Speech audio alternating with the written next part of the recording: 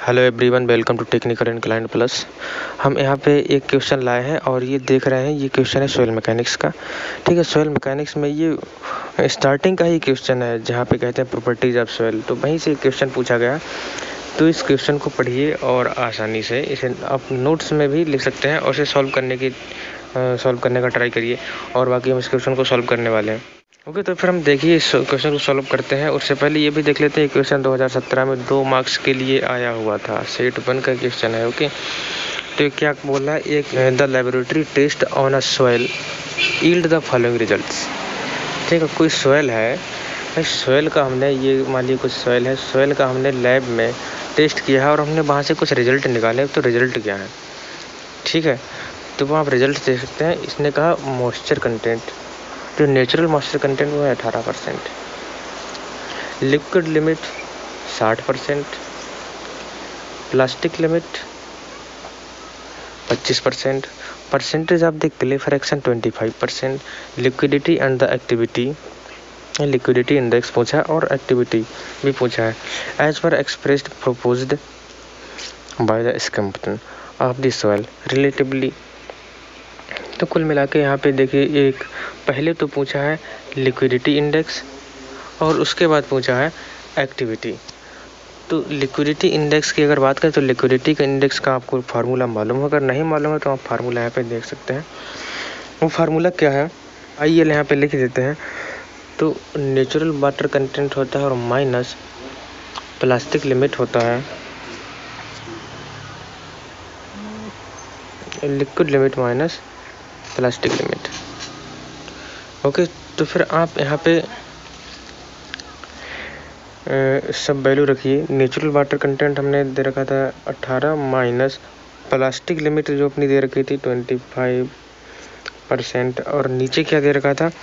Liquid limit liquid limit दे रखी थी 60 परसेंट माइनस ट्वेंटी परसेंट ये था तो आप इसको सॉल्व करेंगे और आप यहाँ पे वैल्यू फाइंड कर सकते हैं। यहाँ पे देखिए 25 में से अट्ठारह जाएगा, माइनस का सात बचेगा, और साठ में से पच्चीस जाएगा। यहाँ पे बचेगा thirty five five one upon five तो माइनस में पॉइंट टू यहाँ पे मिलेगा हमें लिक्विडिटी इंडेक्स ओके अब हम पहुँचेंगे एक्टिविटी पे। तो एक्टिविटी का फार्मूला क्या होता है? तो इसमें होता है आई पी अपान यह plasticity index upon percentage of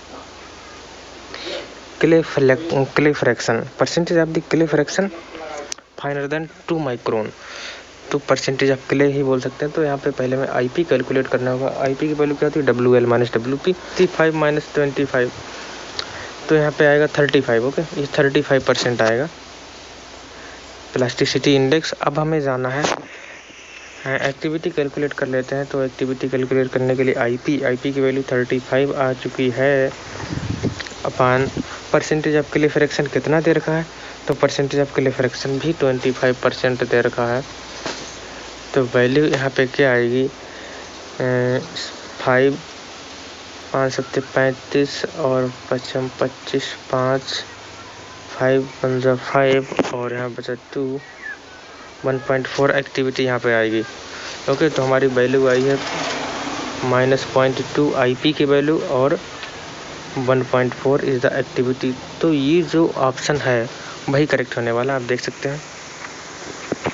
point two minus minus में point two and 1.4 this is the correct ये saturated soil mass has the total density 22 water content 10 bulk density क्या होगा? Bulk density the dry density की value क्या होगी? तो आपको पहले तो ये चीज़, ये कॉन्सेप्ट ये चीज़ ध्यान रखनी होगी तो जो बल्क डेंसिटी होती है that is called the total density और जो बल्क डेंसिटी होती है, वही टोटल डेंसिटी होती है। और ड्राई डेंसिटी भी हम आपको कैलकुलेट करना बताएँ gamma D equal to gamma B upon one plus W okay तो गामा बी की वैल्यू बल्क डेंसिटी वही, जो अभी हम देख चुके हैं कितनी है ट्वेंटी टू है।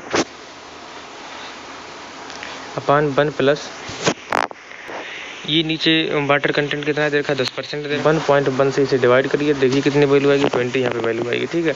तो गामा डी की value twenty kilometer per meter की तो आप बाईस और बीस वाला ऑप्शन क्लिक कर सकते हैं। ये भी गेट में देखिए 2005 में कितना आसान क्वेश्चन दो मार्क्स के लिए आया हुआ था।